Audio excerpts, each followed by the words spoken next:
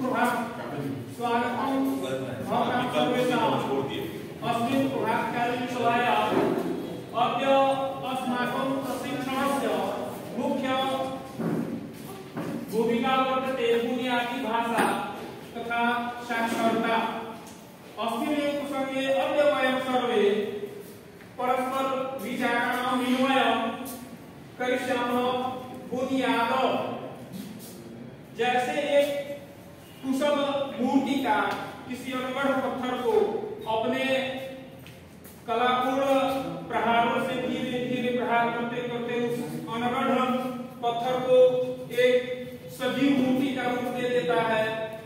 ठीक वही स्थिति हम शिक्षकों के साथ होती है, जब प्रारंभिक स्तर के बच्चे विद्यालय में हमारे समूह उपस्थित होते हैं, घर से बहुत सी बातों को सीख कर, समझ कर आते हैं, पर वो पता नहीं है मैं जो बोल रहा हूँ, वह ध्वनि है अथवा शब्द है। मैं सिर्फ़ ध्वनि का मात्र, ध्वनि का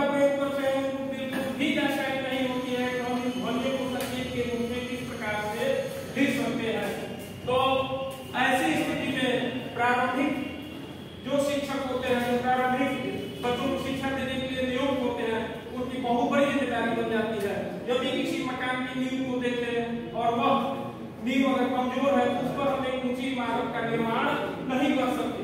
ठीक उसी प्रकार, प्रारंभिक स्तर के बच्चों को यदि सम्यक प्रकार से हम वर्णों का, शब्दों का, शब्दों के भेदों का, क्रिया का, क्रिया के भेद इत्यादि का ठीक ठीक ज्ञान नहीं करा पाएँगे तो वे उच्चतर माध्यमिक शिक्षा को प्राप्त करने के बिल्कुल ही योग्य नहीं हो पाएँगे।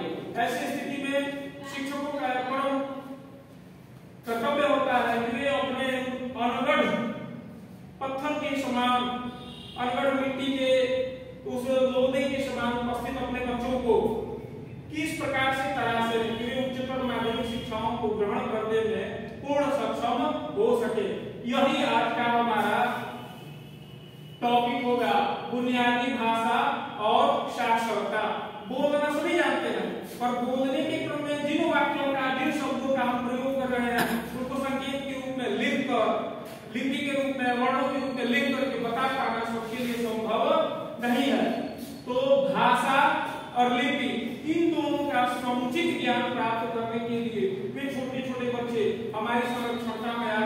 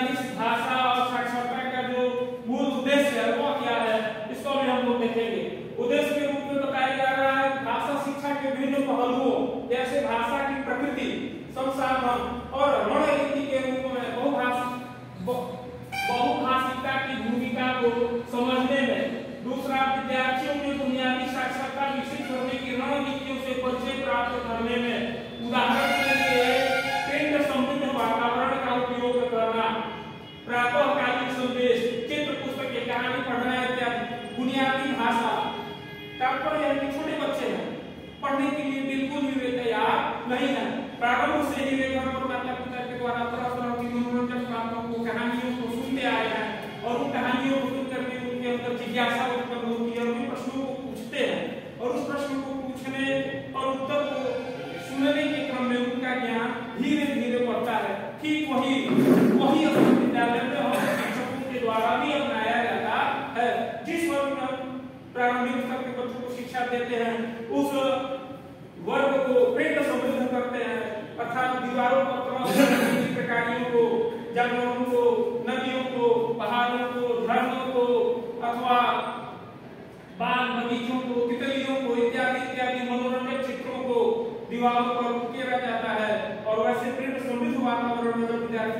right there.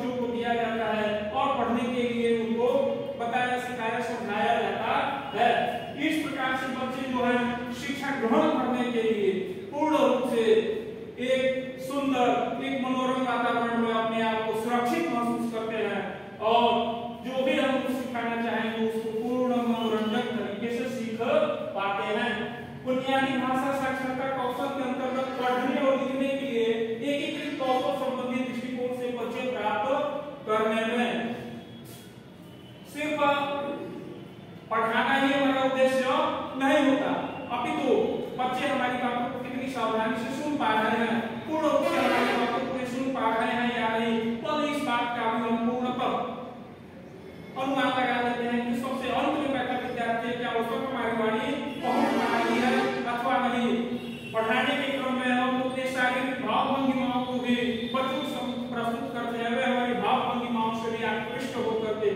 हमारी ओर अपने ध्यान को केंद्रित करते हैं। फिर बच्चों के प्रति संवेदनशीलता, उनके साथ सहज संबंध विकसित करने में यह जो बुनियादी भाषा या जो अधिगम हम बच्चों को दे रहे हैं, बच्चे हमसे जो अधिगम ले रहे हैं, उसमें सबसे प्रमुख है कि बच्चे हमसे मित्र व्यवहार करें। अथवा जैसे मित्र के प्रति दूसरा मित्र स्नेह रखता है, बिल्कुल हमको अपना मित्र ही समझे। हम उनको अपने मित्र के समान व्यवहार में लाए, ऐसा न हो कि कठोर वाक्यों का प्रयोग करें उच्च शब्दों में या उच्च वाणी में डांटते हुए देने का प्रयास करें तो बच्चे भयभीत होंगे और उनका मन हमारे गए अधिगम को ग्रहण कर ग्रहण कर पूर्णतः सक्षम नहीं हो पाएगा। इसलिए प्रारंभिक स्तर के बच्चों को शिक्षित करने के क्रम में पूर्णतः यह प्रयास करना है कि वह हमारा वर्ग जो है वह भय मुक्त हो पूर्णतः वर्ग खुशी से भरा हुआ हो, प्रत्येक बच्चे के चेहरे पर मुस्कान हो, और हम भी मुस्कुराते हुए बच्चों से रूबरू हो। अपनी बातों को बच्चों के सामने प्रस्तुत करें।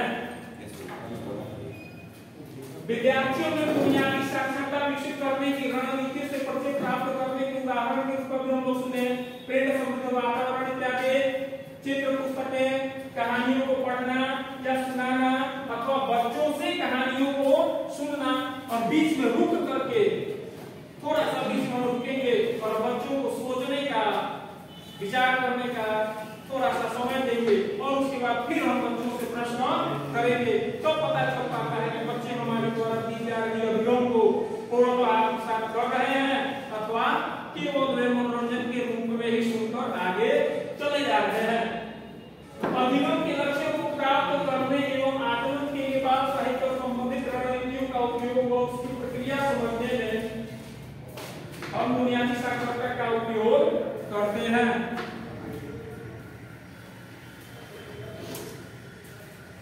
कोर्स की रूपरेखा। अब जो अभी हम लोग प्रशिक्षण के क्रम में जो भी चर्चा कर रहे हैं, इसकी रूपरेखा को समझेंगे कैसे इसका निर्माण किया गया, इसको निर्माण करने से क्या क्या उद्देश्य है कौन कौन से कारण है कौन कौन से ऐसी बातें जिन पर हमको विशेष रूप से ध्यान देना है। पहले बता रहा है, भाषा और साक्षरता को समझना। भाषा अलग बात है प्रत्येक व्यक्ति जन्म लेते ही, कुछ न कुछ बोलता ही है। छोटे बच्चे जो मौखिक होते हैं, पर उनके द्वारा ध्वनि प्रयुक्त होती है, वह निरर्थक होती है। पर धीरे धीरे जब वे विकसित होते हैं, थोड़ा और बड़े होते हैं, और जिस परिवेश में रहते हैं, उस परिवेश या माहौल के अनुसार उनको एक भाषा मातृभाषा के रूप में प्राप्त होती है, जो उनके माता पिता उनके पड़ोसी, उनके भाई बंधु इत्यादि जो से प्रयोग करते हैं, उन्हीं को सुनते सुनते सीखने का प्रयास करता है और धीरे धीरे सीखते हुए उस मातृभाषा का प्रयोग करता है पर भाषा और साक्षरता में अंतर है भाषा को जन्म से सीख लेते हैं जिस अनुकूल परिवेश में रहते हैं वहाँ से अनुकूल भाषा है उसको हम बिल्कुल ही आसानी से जान पाते हैं पर उस जानी गई भाषा को संकेत के रूप में लिपि के रूप में जब लिख करके बताना होता है तब हम समर्थ होते हैं क्यों क्योंकि उस समय हमारे पास अधिगम नहीं होता और यह अधिगम विद्यालय में आकर के प्राप्त किया जा सकता है भाषा प्रकृति और कार्य भाषा की प्रकृति क्या है एक भाषा के अंतर्गत बहुत सारी बोलियाँ होती हैं जैसे हिंदी एक भाषा है इस भाषा के अंतर्गत भोजपुरी एक बोली है मगही एक बोली है मैथिली एक बोली है अवधि यह भी एक बोली है इसको हम भाषा नहीं कह सकते ये बोली है और इनका मूल आधार हिंदी भाषा है तो भाषा की प्रकृति को पहले समझते हैं कि यह इस बोली के अंतर्गत आने वाला विद्यार्थी है क्योंकि एक ही भाषा के अंतर्गत अनेक बोलियाँ हैं और यदि हम पूर्ण रूप से जान लिए कि यह हिंदी भाषा ही इसकी प्रधान बोली है। तो उस विद्यार्थी को बिल्कुल आसानी से अधिगम करा पाने में समर्थ हो सकते हैं। बहुभाषिक का एक संसाधन। जब हम वर्ग में आते हैं तो कोई आवश्यक नहीं है। प्रत्येक विद्यार्थी हिंदी बोलने वाला ही आए। हो सकता है कोई पंजाब से आया हो। उसकी मातृभाषा पंजाबी हो। तो हम उसको क्या करेंगे? क्या उसको घर से निकाल देंगे कि नहीं? उसको नहीं सिखा सकते? तो ये बहुभाषिकता जब आती है वर्ग में तो इसको हम शिक्षा के संसाधन के रूप में एक खजाना, एक निधि के रूप में इसको स्वीकार करते हैं, एक चुनौती के रूप में भी इसको स्वीकार करते हैं और धीरे धीरे उस हिंद भाषी विद्यार्थी को, छात्र को धीरे धीरे हम अपने अनुकूल भाषा के अंतर्गत ढालते हैं और उसको फिर अपने भाषा में अवरोध देने का कार्य प्रारंभ करते हैं। भाषा भाषा का अधिगम भाषा का अधिगम तो जो भी हम बोल रहे हैं जो भाषा हमारे द्वारा प्रयोग की जा रही है उसका अधिगम उसको हम कैसे सीखें ध्वनियात्मक जागरूकता बहुत से ऐसे शब्द हैं जिसको वैसे ही बोलते चले जाते हैं और उनका अर्थ भी हम ग्रहण कर लेते हैं पर जब हम वर्ग में आते हैं तब हमको पता चलता है कि नहीं हम जो बोल रहे हैं वह बिल्कुल अशुद्ध है जैसे बाज़ार में चल जाता है पाँच रुपए लेकर के कहता है कि पाँच रुपए की जलेबी दे दें तो जलेबी तो एक वचन प्रयुक्त कर रहा है जबकि पाँच रुपए में अगर पाँच जलेबियाँ मिल रही हैं तो उसको बहुवचन में बोलना चाहिए था परंतु वह ध्वनियात्मक जागरूकता का प्रयोग नहीं कर रहा जब वो वर्ग में आता है और हम उसको निगम देना शुरू करते हैं तब हम उसको बताते हैं कि देखो एक वचन द्विवचन और बहुवचन में हम कर्ता का, क्रिया का, विशेषण का, विशेष का प्रयोग कैसे करते हैं, उसको हम सिखाएँगे। और तब वह ध्वनियात्मक जागरूकता के अनुकूल होकर के जो भी बोलेगा, जो लिखेगा, वह बिल्कुल ही शुद्ध होगा। स्वयं से बातें करते हुए सीखने की अवधि। यह है मूक अवधि। और विद्यार्थियों के विकास के लिए यह नितांत ही उपयोगी है। सिर्फ़ हम बोलते ही चले जाए विद्यार्थी को सोचने का अवसर नहीं दे, तब विद्यार्थी अपनी बुद्धि का उपयोग नहीं कर पाएगा। और जो चाहते हैं कि उसका पूर्ण विकास हो, वह पूर्ण रूप से अधिगम को प्राप्त करे तो यह हमारा उद्देश्य आधा अधूरा रह जाता है। यही कारण होता है कि वर्ग में पढ़ाते पढ़ाते हम बीच में थोड़ी देर के लिए चुप होते हैं, ताकि हमारा विद्यार्थी जो हम उसको अधिगम करा रहे हैं, दे रहे हैं, उस पर वो स्वयं चर्चा करे, अपने मन में सोचे, और उसके अंदर जो हैं, वो हमारे सामने प्रस्तुत हम उन जिज्ञासाओं का समाधान करेंगे और इस प्रकार से उसका अधिगम विकसित होगा। भाषा और साक्षरता के साथ संलग्नता पढ़ने के पहलू, पढ़ने में शामिल प्रक्रियाएँ और व्यवहार, विचार प्रक्रिया के रूप में लेखन लेखन से जुड़ी रणनीतियाँ बाल साहित्य अब इस क्रम में हम देख रहे हैं कि पढ़ने में शामिल प्रक्रियाएँ और व्यवहार बच्चे को हम बुक बच्चा पढ़ना शुरू करता है, उसको अधिगम की प्राप्ति नहीं हुई है। वह किसी भी वाक्य को ई क्रम में तेज़ी से पढ़ते चला जा रहा है। जैसे एक साधारण सा वाक्य है, इन्हें रोको मत जाने दो। अब इन्हें रोको मत जाने दो, बच्चा पढ़ दिया अब हम इसका अर्थ नहीं निकाल पा रहे। इन्हें रोको मत जाने दो, इन्हें रोकना है या नहीं रोकना है? तब हम उसको सिखाते हैं कि देखो, जो तुम यह वाक्य पढ़ रहे इसमें देखो अल्प विराम का चिन्ह कहाँ लगा हुआ है? इन्हें रोको को इस स्वर के बाद को जो है स्वर उसके बाद यदि अल्प विराम है। और से निकलेगा इन्हें रोको मत जाने दो। और यदि यह को शब्द के बाद जो दिखाई पड़ रहा है अल्प विराम, इसको जो मत के बाद पढ़ देगा जैसे इन्हें रोको मत मत के बाद तो के बाद अगर वह विराम करता है थोड़ा सा रुकता है तो अर्थ बदल जाएगा। अब अर्थ हो जाएगा इन्हें रोको मत जाने दो। कहने के तात्पर्य है। एक दूसरा उदाहरण। हम कहते हैं कि आप डेरा करें आप डेरा है। गाँव में क्या भी हम लोग मकान या किराए के मकान में जा रहे हैं उसको डेरा कह दिया जाता है? तो बच्चा आया आप डेरा गए तो पता नहीं चल रहा था कि आप घर गए या डर गए, तब तक कोई दूसरा उसी वाक्य को पढ़ता है कहते हैं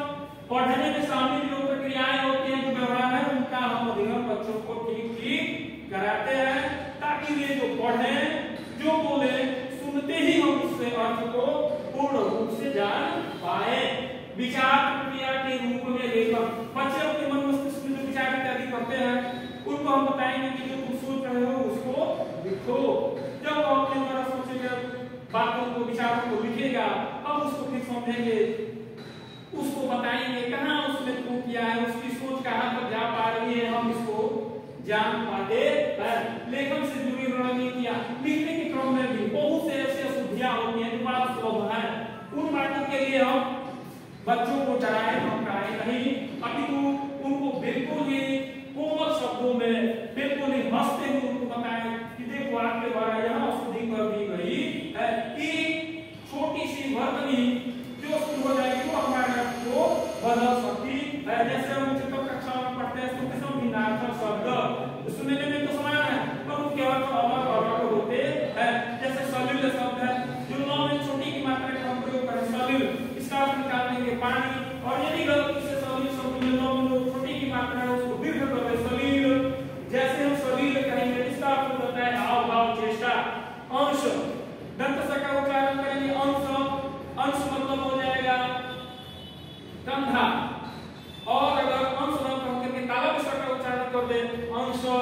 तो उसका अर्थ है हिस्सा तो जब हम को अधिगम करा रहे होते हैं, उस समय बहुत सूक्ष्म हैं जिनका उनको कोई भी ज्ञान नहीं होता।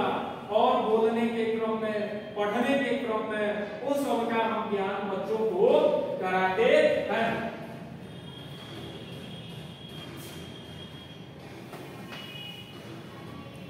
भाषा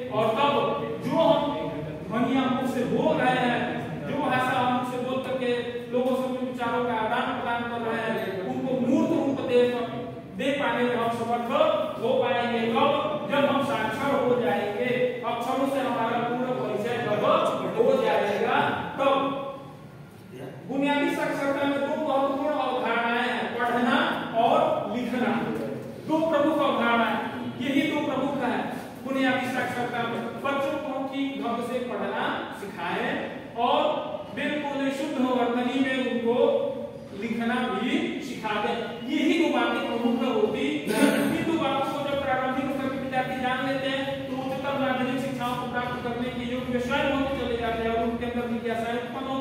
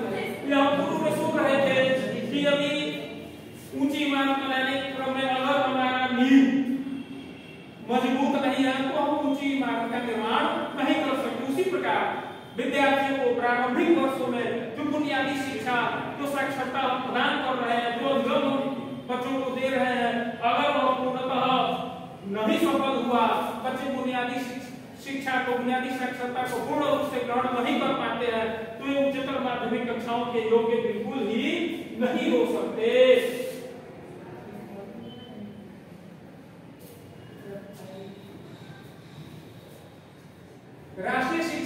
में औपचारिक स्कूली शिक्षा प्रणाली में प्रवेश करने से पहले सभी बच्चों के लिए प्रीमेट्रिक क्लासेज या बाल वाटिका का प्रस्ताव प्रस्तुत किया गया है।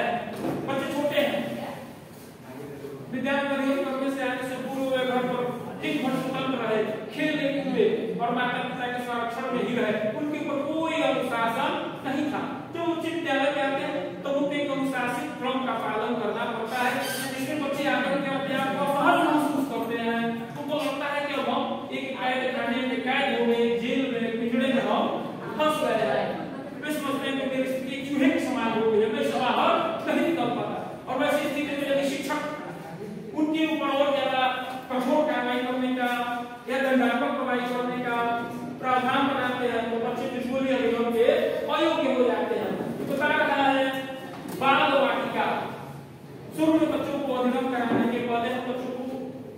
खेलने का अवसर प्रदान करते हैं। प्रिंट समृद्ध जो वातावरण हमारे विद्यालय में रहता है, दीवारों पर चित्र इत्यादि बनाए गए हैं घर इत्यादि का बंदर इत्यादि का, पशु पक्षियों का चित्र इत्यादि जो बना हुआ है, वहाँ उस कमरे में पशु को तो छोड़ देते हैं क्योंकि खेले और चित्रों को देख देख करके प्रसन्न हो और जानने का प्रयास करें कि अब किसका है चित्र क्षेत्र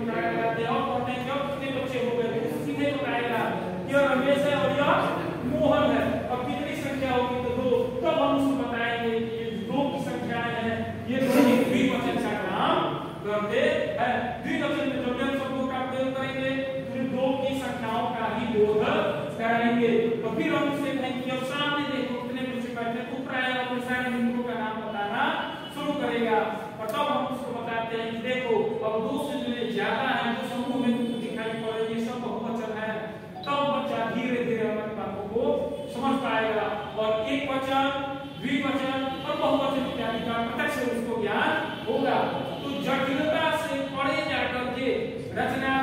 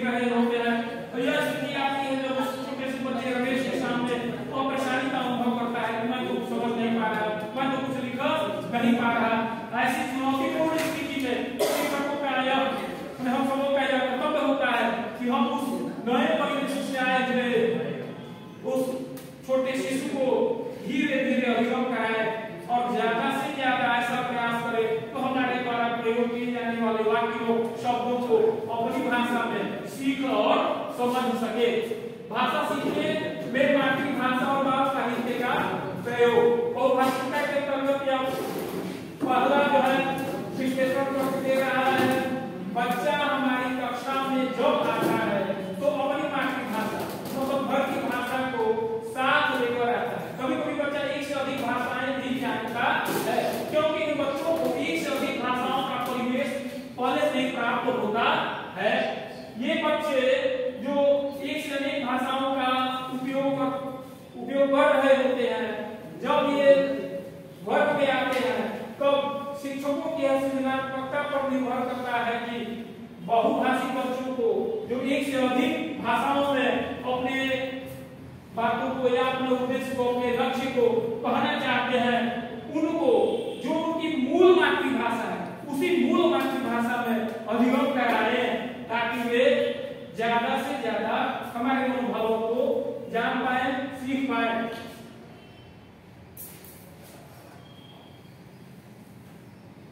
हमारी कक्षाओं में अलग अलग भाषाओं को बोलने वाले बच्चे होते हैं तो जब हम कहानी या कविता सुनाते हैं और फिर उस पर बातचीत करते हैं तो बच्चों को यह मौका देना चाहिए कि वह अपनी भाषा में बातचीत करे अथवा सुनी हुई कहानी को अपनी भाषा में सुनाए। इससे यह पैदा होता है कि बच्चे आत्मविश्वास पूर्वक अपनी बात कहने की पहल करते हैं, ठीक है? यही एक प्रकार से मूक अवधि है। जब कोई कहानी इत्यादि कहते कहते बीच में रुक जाते हैं। और बच्चे हमारे द्वारा कही गई कहानी पर स्वयं विचार विमर्श करते हैं अभी हम वर्ग में क्या सुने, क्या अभी हमको सुनाया गया? जब बच्चे हमारी बातों पर विचार करते हैं तो कुछ ऐसी भी बातों करते हैं जिनको हम उनके सम्मुख प्रस्तुत नहीं कर सके। उस समय हम बच्चों को थोड़ी देर के लिए स्वतंत्र छोड़ते हैं और बाद में बच्चों से प्रश्न करते हैं कि अभी जो तुमने सुना, अभी मैंने तुमको जो बताया, तुम उसको अपनी भाषा में बोलकर सुनाओ, बोलकर बताओ। तो वह आत्मविश्वास पूर्वक खड़ा होता है नहीं, अब मैं अपनी मातृभाषा में इस बात को, इस कहानी को सुनाऊँगा। और वह हमारे द्वारा सुनाई कहानी को फिर सुनाता है और उसका अभिगम धीरे धीरे आगे बढ़ता चलता है।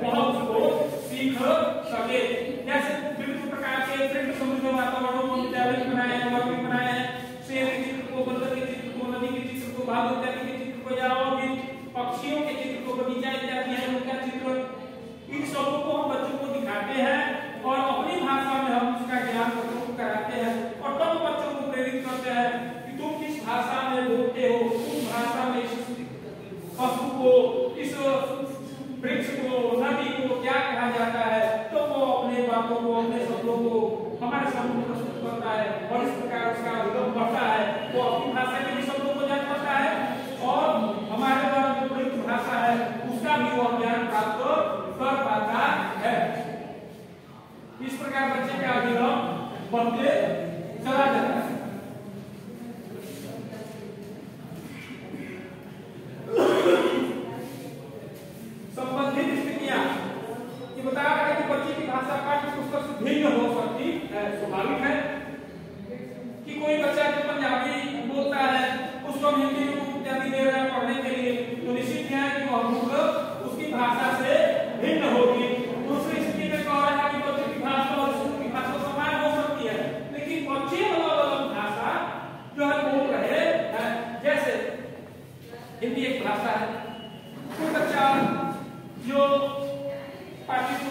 है कि ग्रामीण क्षेत्रों से आता है तो वह वही भाषा का प्रयोग करता है।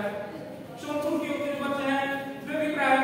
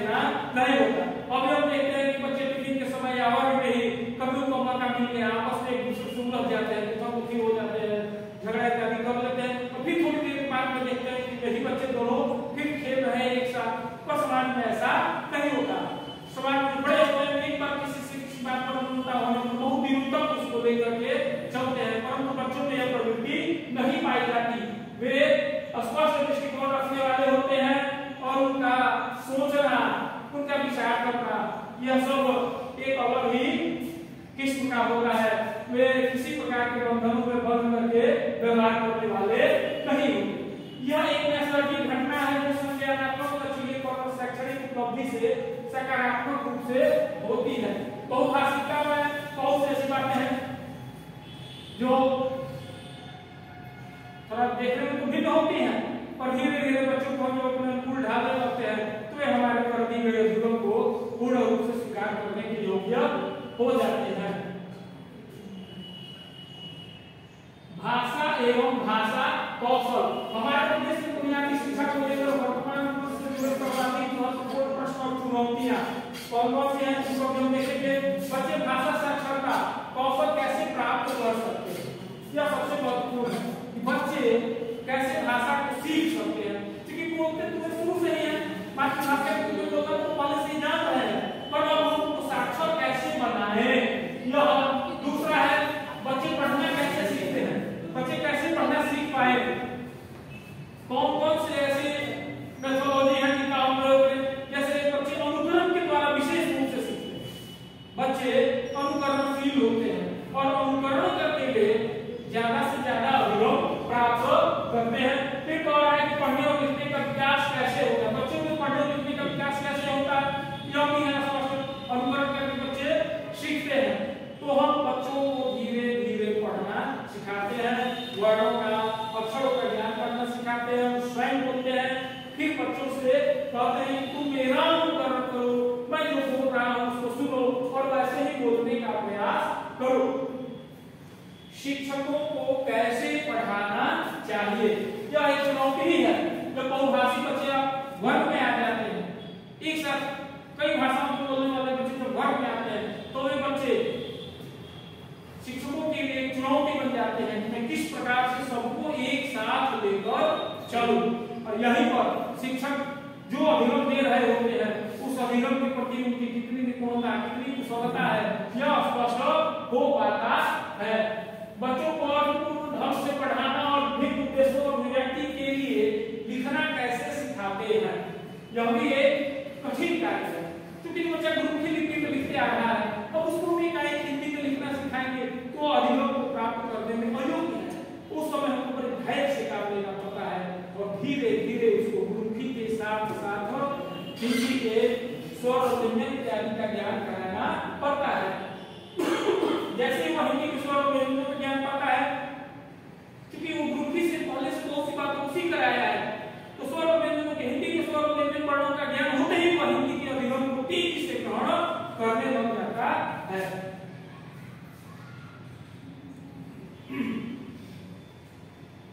भाषा प्रारंभिक साक्षरता कौशल का प्रमुख अवयव है इसलिए यह समझना महत्वपूर्ण है कि भाषा अभिव्यक्ति और आत्म विकास का माध्यम बच्चों की भाषा अलग अलग और ज्ञानयुक्त होती है भाषा का तात्पर्य केवल वर्ड वाला सीखना नहीं है अपितु यह विभिन्न सामाजिक संदर्भों के उपयोग से संबंधित होती है विशेष रूप से प्रारंभिक वर्षों में यह समझिए हम देखते हैं कोई भी लकड़ी का टुकड़ा जो अभी हरा है उसको हम धीरे धीरे मोड़ सकते हैं पर जब वह सूख जाता है तो उसको मोड़ पाना संभव नहीं वो टूट जाएगा ठीक वैसे स्थिति प्रारंभिक काल में बच्चों के साथ घटित होती है बच्चे जो है अभी बिल्कुल ही कोमल है उनका मन बिल्कुल कोमल है संसारिकता से उनका भी कोई वास्ता नहीं है इस स्थिति में प्रारंभ के वर्षों में जो बच्चों को अधिगम कराया जाता है वह उनके जीवन पर अमिट छाप छोड़ जाता है भाषा से तात्पर्य बार बार हम लोग सब सुन रहे हैं भाषा भाषा साक्षरता तो अब हम लोग देखेंगे कि भाषा से क्या तात्पर्य है भाषा यह जो शब्द है इसका क्या अर्थ हो सकता है तो भाषा बातचीत करने और दूसरों को संदेश भेजने की स्वाभाविक मानवीय इच्छा है लेकिन यह हमारे सोचने प्रतिक्रिया देने और अनुभव करने के साधन के रूप में इसकी उपयोग- उपयोगिता को मूल रूप से प्रयोग किया जाता है या प्रारंभिक वर्षों में जब बच्चे सीख रहे होते हैं उस समय बाकी जगत के बारे में बच्चों की सोच को आकार देने में भाषा की महत्वपूर्ण भूमिका होती है उनकी क्षमताओं रुचियों को के की भाषा शब्द की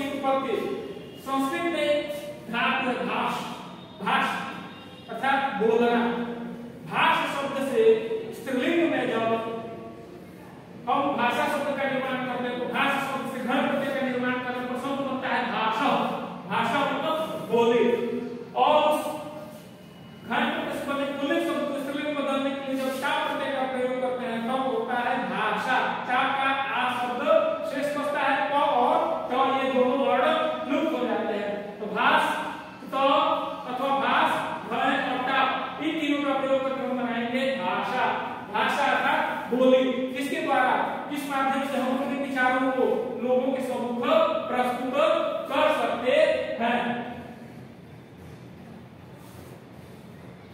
भाषा सीखने के उद्देश्य के बुनियादी चरण में महत्वपूर्ण यह है कि भाषा के जो कौशल है, बोलने के क्रम में जिन वाक्यों का हम प्रयोग करते हैं। ये सब जो है, धीरे धीरे एक कौशल के रूप में हमारे सब उपस्थित होते हैं और भाषा के अवयव के रूप में यह चार जो है भाग विभक्त किया चारों का सम्मिलित रूप भी है जो वह भाषा है जैसे भाषा की व्यवहारिकता ध्वन्यात्मकता वाक्य रचना अथवा शब्द रचना जिस भाषा का हम प्रयोग कर रहे हैं वह सार्थक है अथवा निरर्थक है जैसे आज से लगभग 200 वर्ष पीछे। कोई व्यक्ति अगर यह कहता कि मैं एक ऐसा यंत्र बना रहा हूँ, जिस यंत्र से हम दूर कहीं भी बैठे हुए किसी भी व्यक्ति को देख कर उससे प्रत्यक्ष के समान बातचीत कर सकते हैं। तो यह उस जमाने के लोगों के लिए बड़ी हास्यास्पद बात होती और लोग उसका मज़ाक उड़ाते परंतु जब समय बदला हम और आज हमारे सब दूरभाष से उपस्थित हैं उनके माध्यम से हम बिल्कुल ही आसानी से किसी बातचीत इत्यादि कर सकते लगभग सौ वर्ष पूर्व ही देवकीनंदन खत्री, इन्होंने उपन्यास लिखा, चंद्रकांता संतति उसमें उन्होंने ऐसे ही विचित्र विचित्र बातों का उल्लेख किया। उन बातों को पढ़ करके उस समय के पाठक देवकीनंदन खत्री का मज़ाक उड़ाते थे कि भला ऐसा भी कभी हो सकता है? क्या वो सकता है? क्या वो समुद्र के अंदर गहराई में जा सकता है? क्या वो उससे जलती हुई अग्नि में प्रवेश कर सकता है उस समय उनकी बातें बिल्कुल निरर्थक थी। परंतु जैसे हुए तो सारी बातें सार्थक होती चली गई। तो जो भी हम भाषा प्रयोग कर रहे हैं वो व्यवहारिक है? उसका समान उपयोग हो पा रहा है? अथवा उपयोग नहीं हो पा रहा? बातों पर विचार करना ध्वन्यात्मकता। भाषा में बहुत से ऐसे भी शब्द हैं जो निरर्थक है। जैसे खोलते हैं चू की ध्वनि होती है तो उसका कोई उपयोग नहीं है खाट इत्यादि पर बैठते हैं चार पर इत्यादि की ध्वनि होती है इसका कोई उपयोग नहीं है तो जो भाषा में ध्वनियों का हम उपयोग कर रहे हैं क्या वे ध्वनियाँ सार्थक हैं अथवा निरर्थक हैं इन पर विचार करना चाहिए वाक्य रचना भाषा में वाक्यों की रचना पर ध्यान देना चाहिए ऐसा नहीं हो कि कर्ता कहीं और चला जाए क्रिया कहीं और चला जाए और कर्म कहीं और चला जाए इस प्रकार से अगर हम वाक्यों को बोलेंगे तो हमारी बातों का कोई अर्थ नहीं हो पाएगा। और शब्द रचना, शब्दों की रचना में भी बहुत सूक्ष्म रूप से विचार करना पड़ता है ऐसे हम किसी भी स्वर और व्यंजन को जोड़ करके शब्दों को बनाना शुरू करते हैं तो वे शब्द हमारे मानसिक लक्ष्य को पूर्ण करने में अधिगम को प्राप्त कराने में समर्थ नहीं हो सकते तो भाषा का प्रयोग करने के समय भाषा की व्यवहारिकता उसकी ध्वन्यात्मकता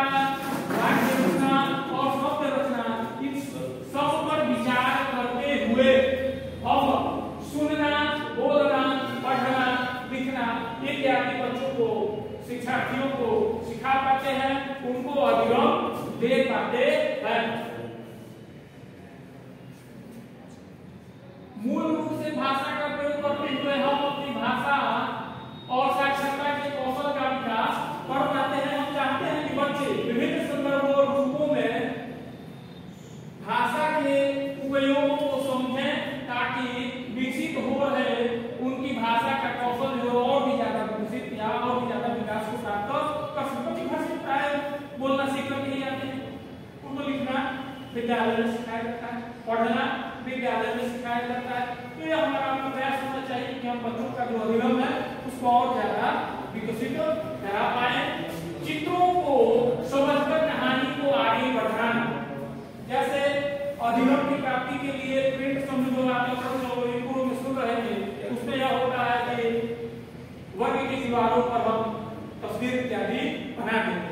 और बच्चों को दिखाते हैं। और कहते हैं कि देखो इस तस्वीर को, इस तस्वीर को देखकर तुम क्या कल्पना कर सकते हो? जैसे एक घर का निर्माण कर दिया गया, उसके ऊपर एक घर बैठा दिया गया, अब उस चित्र को दिखाया गया और कहा गया कि देखो इस चित्र को, इस चित्र को देखकर तुम क्या सोचते हैं?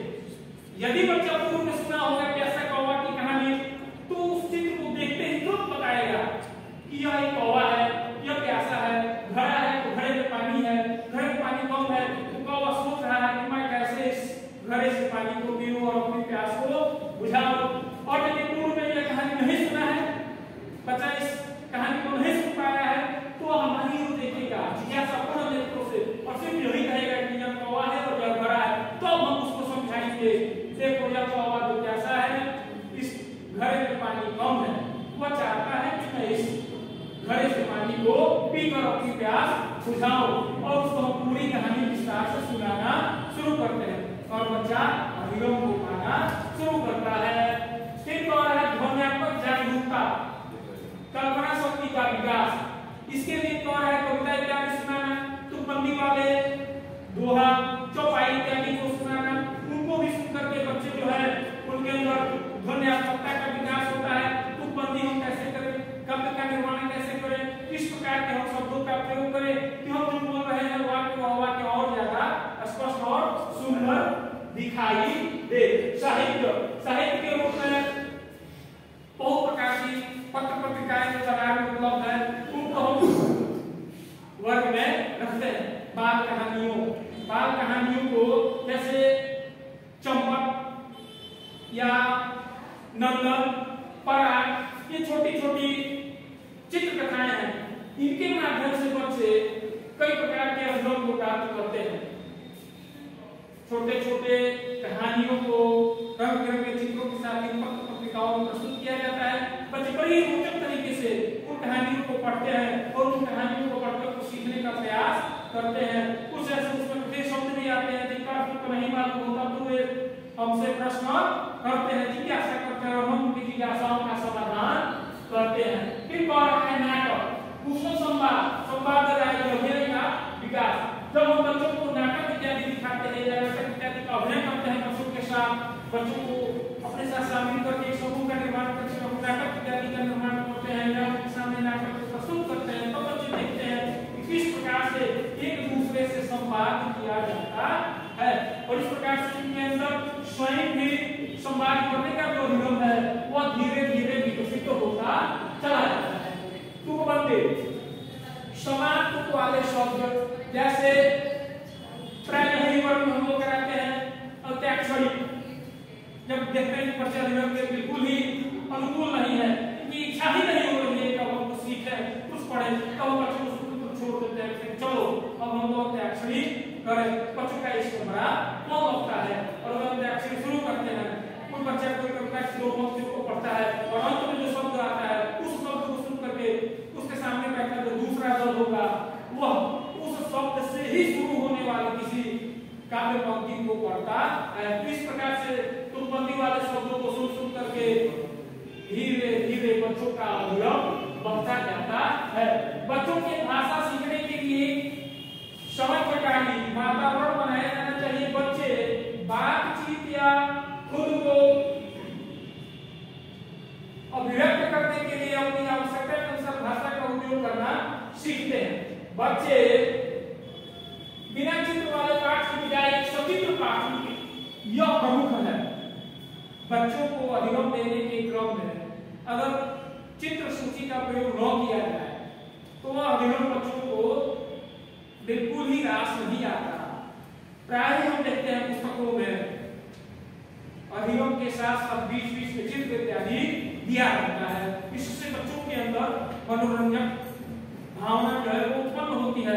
जिज्ञासुपन जो है उनका वो ज़्यादा से ज़्यादा जागृत होता है और जिन बातों को वे गद्य के रूप में गद्यांश के रूप नहीं समझ पाते, उस बहुत सारी बातों को चित्र को देख करके समझ पाते हैं अथवा चित्र को देख करके उनके अंदर जो जिज्ञासाएँ उत्पन्न होती है, वे हमारे सामने प्रस्तुत करते हैं और हम उन जिज्ञासाओं का समाधान करते हैं और बच्चे ठीक ढंग से अधिगम को प्राप्त कर पाते हैं। ध्वनियात्मक जागरूकता भाषा सीखने के लिए महत्वपूर्ण है। लेकिन यह संदर्भों से उभरनी चाहिए जैसे अक्षर और ध्वनि। कहानी से बार बार दोहराए गए शब्दों को, अक्षर ध्वनि शब्दों को सीखने के लिए सुना जा सकता है। जब भी हम कोई कहानी बच्चों को जब भी हम कोई कहानी बच्चों को पढ़ाते हैं तो उस कहानी के क्रम में कुछ शब्द बार बार प्रयोग में आते हैं। उन बार बार प्रयोग में आने वाले शब्दों को बच्चा ज़्यादा से ज़्यादा सुनता है और ज़्यादा सुनता है तो उसके अंदर कुछ कौतूहल उत्पन्न होता है। और उसको कौतूहल को शांत करने के लिए वह हमसे प्रश्न करता है और उन बार बार प्रयोग करने वाले शब्दों को हम बच्चों को बताते हैं, विस्तार के बारे में बताते हैं और बच्चे का अध्ययन इस प्रकार धीरे धीरे बढ़ता जाता है। भाषा एक महत्वपूर्ण सत्ता है। उनसे समग्र रूप से सीखा जाना चाहिए। ये एक संपूर्ण सत्ता है समग्र रूप से सीखा जाना चाहिए। मतलब बोलना पढ़ना, सुनना, इन चारों गुणों को साथ साथ लेकर के चलना चाहिए। यह नहीं हम सिर्फ़ बोलना जानते हैं? बोलने लगते हैं तो भाषा का नियम हो गया। ऐसा कभी भी संभव नहीं हो सकता। भाषा सीखना एक विकासात्मक आरेखीय प्रक्रिया है। भाषा सीखने की कोई निश्चित प्रविधि नहीं होती। करेक्ट करते हैं कि भाषा सीखने सीखने की कोई निश्चित अवधि नहीं होती। मनुष्य ताउम्र सीखता ही रहता है। नए नए ग्रहण करता ही। इसको एक निश्चित सीमा में नहीं मान सकते इस सीमा के बाद अब आपका सीखना समाप्त हुआ। यदि ऐसा होता तो प्रौढ़ शिक्षा का प्रावधान समाज में नहीं होता। भाषा का प्रयोग करते समय बच्चे अपनी गति और क्षमताओं के साथ भाषा का अवसर सीखते हैं, जिन्हें हम त्रुटियाँ मानते हैं। वे सीखने और प्रगति करने के ही प्रयास है। ऐसा हम देखते हैं कि भाषा के अवसर के में बच्चे सी त्रुटियों का प्रयोग करते हैं। तो ये त्रुटियाँ नहीं है अपितु सीखने के कौशल का विकास करने में सहायक है। जहाँ बच्चे आज के प्रशिक्षण कार्यक्रम में बस इतना ही। फिर हम अगले सत्र में आपसे मिलेंगे और इस बचे हुए शेष कार्यक्रम को आगे बढ़ाएँगे। आप सब इस प्रशिक्षण कार्यक्रम में सम्मिलित हुए, इसलिए आप सबों का आभार। धन्यवाद।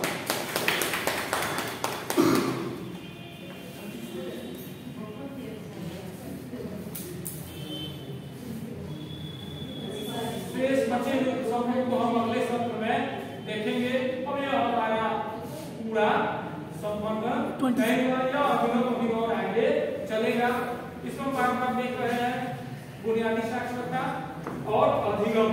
अधिगम अर्थात शिक्षण, ग्रहण करना। जो कुछ हम सीख पाए वो अधिगम शिक्षा। शिक्षा का